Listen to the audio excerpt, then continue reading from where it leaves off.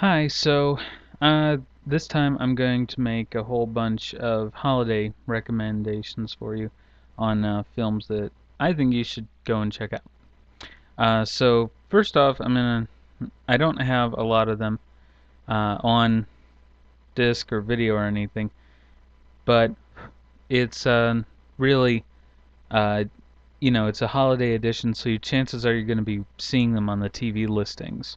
Is the thinking behind this. Uh, but one that I picked up at Walgreens for a dollar was um, Danny Kaye movie called The Inspector General. And if you know anything about Danny Kaye movies, they're pretty fun, uh, very funny, and uh, they generally, you know, uh, have a decent amount of humor to them so that they're kind of family friendly. Um, and the kids will like it and all that. This one also comes with uh, the Magic Sword and a Wizard of Oz cartoon. Uh, the Wizard of Oz cartoon is nothing really special unless you happen to appreciate older uh, style cartoons.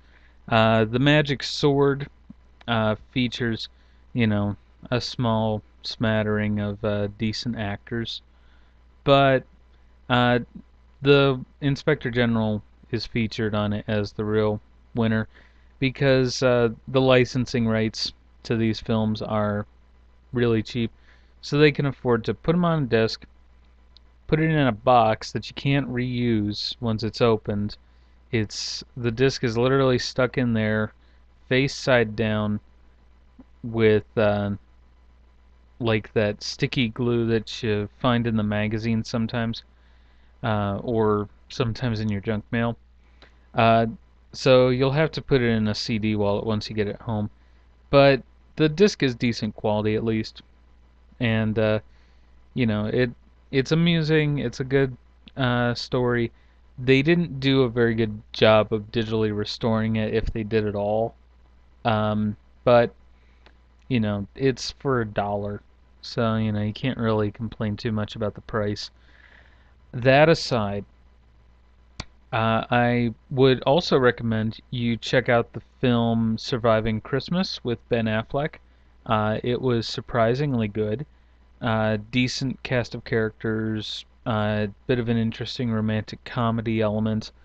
Um, uh, one I would te- definitely tell you to avoid is one that I saw last Christmas on TV, and I they had it uploaded to Hulu so I thought I would watch it again because it was so bad that my memory actually blanked on it. And it was called uh, Holiday in Handcuffs, uh, which at first sounds like, hey, hey, kinky. But it stars uh, Mario Lopez from, better known as uh, Jesse or AC Slater from uh, Saved by the Bell, and uh, Melissa Joan Hart, better known as Clarissa from Clarissa Explains It All, or Sabrina from Sabrina the Teenage Witch. Uh, not a very good movie, to say the least. It was actually painful to watch. Uh, the plot, premise, whole storyline, very predictable, uh, not very original, no real interesting twists or turns, uh, no real standout casting uh, and none of the actors that you actually might recognize are even good enough to really jump out at you. Uh, one interesting choice in casting was that uh, the guy that uh, you know ha- plays uh, George W. Bush a lot for impersonations and stuff, like he was on That's My Bush, and he was on the uh, I Love the New Millennium uh, show as George W. Bush. Uh, he plays the dad, and all the while I'm thinking, is he supposed to look like George Bush? Is he supposed to, you know, is this supposed to be a commentary on something? And it's like, no, he's just there. He's just an actor, and he's just playing a different part but he still gets the gestures down like occasionally when he raises his eyebrows or something it's really weak as a movie goes I'll stop talking about it now. Um, one that uh, is actually a winner every time. If you're much more interested in less romantic comedy, more action, either of the first two Die Hard movies both take place at Christmas and are wonderful for action and everything. There's a reason why you know they're so big. Uh, another good one is The Long Kiss Goodnight, uh, which takes place around Christmas and New Year's. Uh, really a lot of fun. Stars Geena Davis and uh, Samuel L. Jackson, and has a lot of the same really good touches as um, as the Die Hard movies, but you know is is on a different bend, uh, totally different vein. Has a little bit of an element of the Bourne Identity and uh, La Femme Nikita to the uh, plot.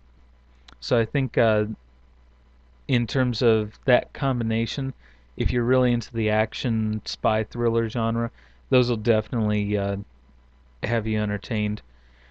Uh, one that Ben Affleck did star in that was kind of Christmassy themed, that was an action one, was Reindeer Games. I've heard mixed reviews on it. I've seen parts of it, and it's not terrible, but it's not great. It didn't exactly get rave reviews. It's not exactly one that is on everyone's must-have list of DVDs. So, you know, take a chance with that one if you feel like it. If you're a big fan of Ben Affleck. Um, in terms of, uh, in in terms of uh, you know, doing the uh, holiday specials and whatnot, if you have kids, there is one uh, that Disney recently came out with, and I think they're showing it a lot uh, this holiday. I think I've seen it twice already on ABC alone. It was it, it's some CGI one. I, I forget the name of it to be honest, um, but it's pretty good, and uh, it it it doesn't deal so much with finding the true meaning of Christmas or discovering the spirit of Christmas, and more just with uh, you know your feelings about your job, your life, uh, and how you treat things. Uh, that being said, it's kind of an amusing thing to watch. Uh, it's like takeoff and landing or something like that. I, I honestly can't remember the name of it, but it's cute. It's not in the typical Disney style. It's also not in the Pixar style. It's it's its own entity, really. Uh, but it's uh, it's a good one, and it kind of shows a lot of originality on Disney's part with uh, with things. It gets totally away from the Santa Claus and all those other movies. Uh, but uh, one other good one was on Hulu, which is uh, Inspector Gadget Saves Christmas, which I know it's like what, but it was actually really good and a lot of fun. And I think that if you watch it with your kids, they'll get a lot out of it.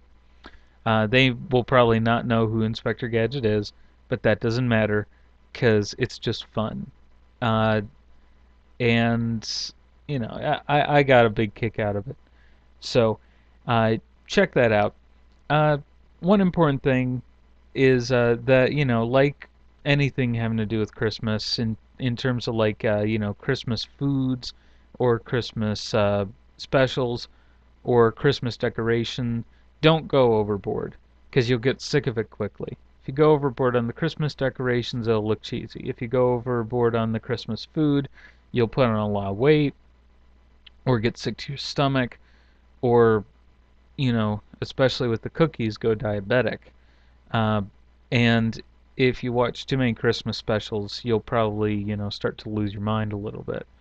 Um, so, you know, try and balance it out if you can you know, with not watching TV, read a good book.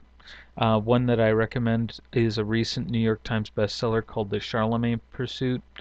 Uh, it's an amusing, uh, sizable novel that'll uh, that if you read it straight through what break time you have this holiday, you'll probably enjoy it a lot. It has a lot of twists, turns, and suspense, uh, and has a pretty good uh, way of writing uh, dialogue. It's by uh, Steve Berry, uh, and it's um, it just has a lot of mystery twists. I'm not done with it yet, but also, you know, listen to some music. Enjoy some quiet time. Play some games with your family uh, or friends this holiday. Uh, you know, so that it's not just about oh, it's Christmas, it's Christmas, and whatnot. You know, actually do something fun. Uh, and uh, of course, if you're choosing to drink, uh, have a designated driver. Uh, so that's all for now. That's it for this holiday edition of film recommendations. Bye bye.